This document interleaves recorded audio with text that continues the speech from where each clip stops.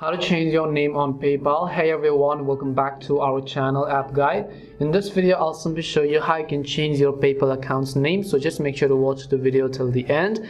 In order to change the name of your PayPal account, all you have to do is just open up the PayPal website, not the app, but PayPal website. You simply want to come to paypal.com. I'll also make sure to drop a link down below.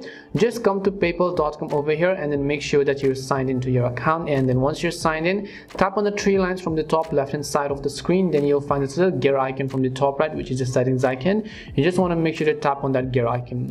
And as you tap on the gear icon over here you'll be taken to this page where under the account page you'll find the option called your name and you have the option called change name. Now there are some legal procedures to changing your paypal name because since this is a legal application or a website or a platform in and of itself just tap on the change name button and you have multiple reasons as to why you want to change the name. First is using a legal name after marriage or divorce or etc or updating a name name for example using a full name instead of a nickname depending on whatever the reason is or making a minor correction of one or two characters. Just choose any of the reason that you're trying to change the name for now just select the second option. I'll choose the next. Now I'll just go ahead and enter the middle name or if I want I can also change the last name.